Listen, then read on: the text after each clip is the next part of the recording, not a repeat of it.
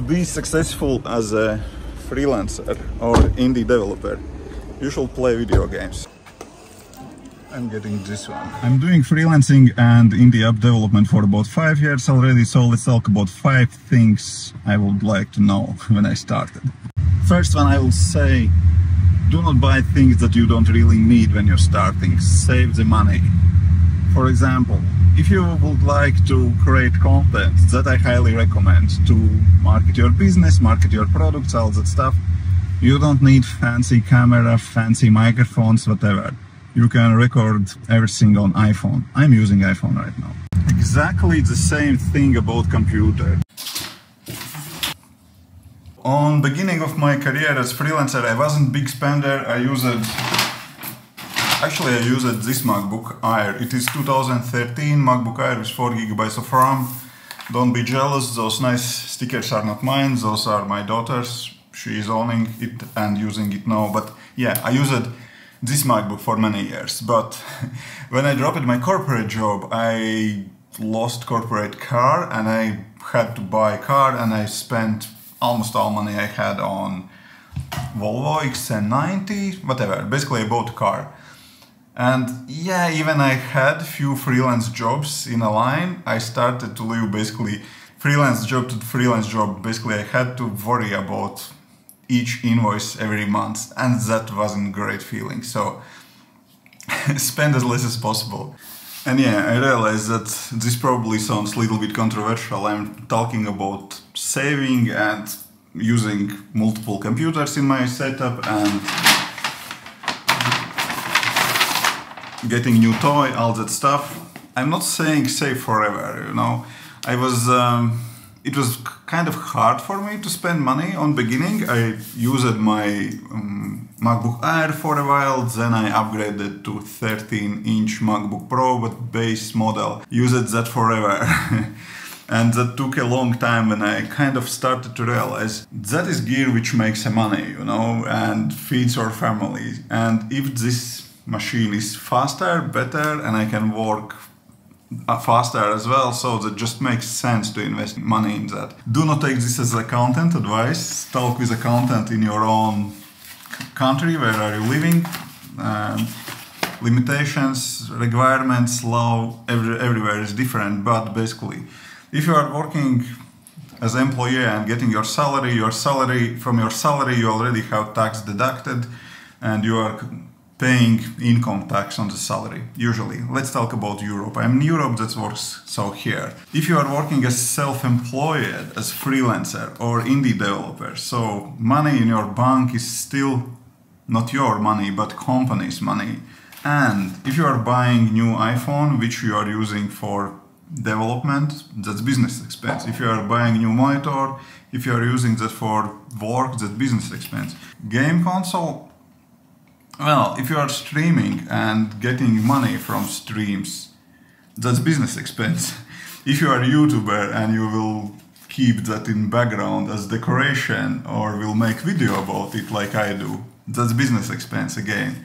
Basically, be kind of smarter about your expenses. When I started freelancing, I just took all the money in my account paid income tax on that money and then started to spend this money. And that wasn't smart move, you know. Basically, I just overpaid taxes. So do not make that mistake. Talk with accountant. Okay, let's talk about money a little bit more. If you're buying any gear, I don't know, better camera, something, think how you will make that money back. If you're buying gear for your camera, probably you are going to make some YouTube videos, photos, all that stuff.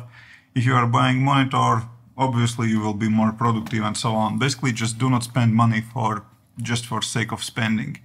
If you are kind of thinking about getting into YouTube, that also can be profitable. I was uh, thinking about buying ultra-wide monitor and I was on the fence about that and I spent about 1200 euros on that monitor. I bought it, I used it for two years and here is this is that video and if I'm going revenue of that video there is 1.3 thousand already earned on ads from that video. Also I don't know three or four thousand subscribers. Don't be tricked that is most popular video on the channel. I'm not making thousands or even hundreds of uh, from each and every video. But that also is a way how to make your money back. In my opinion, that helps a lot if you are kind of thinking about gear what you are planning to buy. Basically, do you really need to st- spend that money? If yes, okay, then buy it. And if you are buying, then think about how quickly you will get that money back. Will that help you to get better freelance projects? Will that make more money for you? Will you be able to work faster? If none of those check marks doesn't kind of work, so probably skip that upgrade, skip that purchase and better invest that money. And yeah, where to invest and how. Okay, investing. No worries, I'm not going to sell you some magic investing portfolio or something. I know nothing about that, I do not understand about that, and I do not care much about that as well. All my money that I have, I am investing back in my gear, some stock that I just trust for some companies that I trust, some pension funds, stuff like that, you know. But where else I invest my money and what I see the biggest problem was when I started. So when you are just starting and when I started, your monthly revenue is quite low. As I said, I already was working from one project to another. I was paying my bills, I was living fine, but I can't say I had a lot of money to set aside. And that's the problem for most of the beginners because you just don't have enough money to invest somewhere. And if you even will see some magic in investment opportunity where you can get, I don't know, 10, 20% back, okay, if you will invest your, I don't know, 100 bucks, what you will get back 10 bucks, 20 bucks in a year. So that doesn't make any sense, you know. I started to invest money in myself, and by investing in myself, I mean investing in courses and education. I'm buying courses about YouTube, I'm buying courses about programming, I'm buying courses about business, I'm buying courses about writing, all that stuff. Uh, because, yeah, that is what I'm interested, and I see that it helps me to make more money. So that is investment in myself and that is something that I really recommend to you.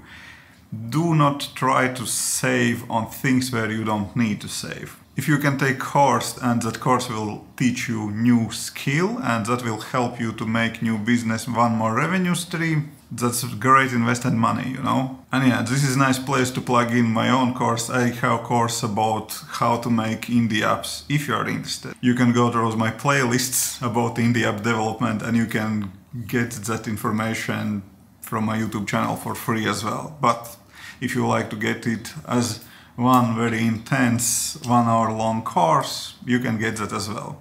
And yeah, what's about what's about gaming? Why gaming?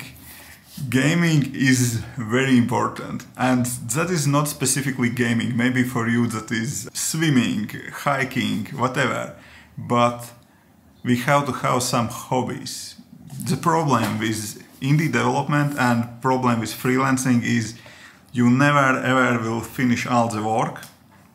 You always have more work to do for example, I don't know, I start, I finish it to work on one of my indie apps, I can jump onto the next and work on that, or I can add few more lessons to my published course, or I can write few tweets which will lead audience to my course or to my apps, you know.